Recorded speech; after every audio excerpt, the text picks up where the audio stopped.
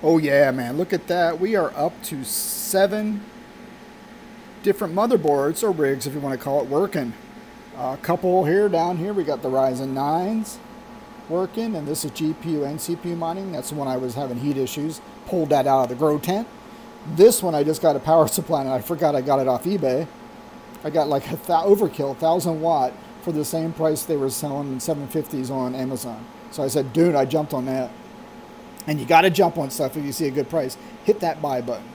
I'm telling you, if you go back three seconds later, it's going to be gone. So I got all these rigs running. Everything's cooking. The, the temperatures inside the tent are decent.